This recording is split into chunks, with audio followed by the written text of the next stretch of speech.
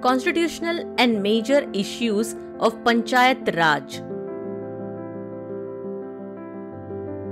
Panchayati Raj Day is celebrated every year in India on 24th April as the foundation of democracy. In overview of the Panchayati Raj system, the reason for celebrating Panchayati Raj Day on 24th April is the 73rd Constitutional Amendment Act 1992, which came into effect on 24th April 1993.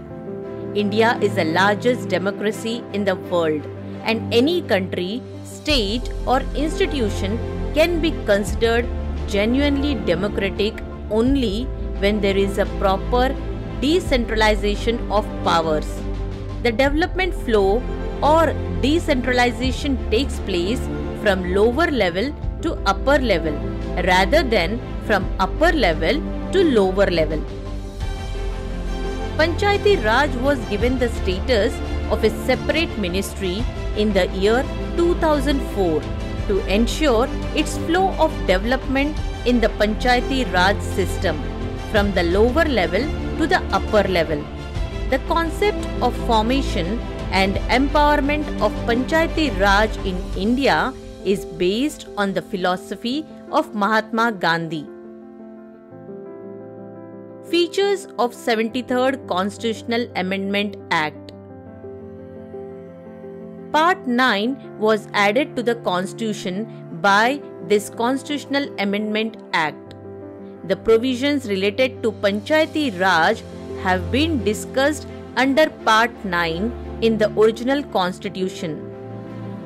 Part 9 contains the provisions relating to Panchayati Raj up to Article 243 and 243O under the title Panchayats. The Gram Sabha can exercise such powers and perform functions at the village level as specified by the state legislature. The 11th schedule was added to the constitution by the 73rd constitutional amendment and under this a list of 29 subjects was arranged for panchayats. All the seats in the panchayat shall be filled by persons elected by direct election from the constituencies of the panchayat. For this, every panchayat area shall be divided into territorial constituencies so that the ratio between the population of each constituency and the number of allotted areas is practicable and is the same in all panchayat areas. Article 243D of the Constitution provides the reservation of seats for scheduled caste and scheduled tribes. The reservation of seats in each panchayat will be proportion to the population of the area. Panchayat Raj issues For panchayats to raise their funds it is necessary to expand its jurisdiction. The interference of MPs and MLAs of the area in the working of panchayats also affects its performance adversely. The 73rd Amendment mandated the creation of local self governing bodies. It has also left the decision to delegate powers, functions, and finances to the state legislatures. This was the main reason for the failure of Panchayati Raj institutions. The transfer of various government functions such as education, health, sanitation, and water were not mandatory. Instead, the amendment listed the tasks that could be transferred.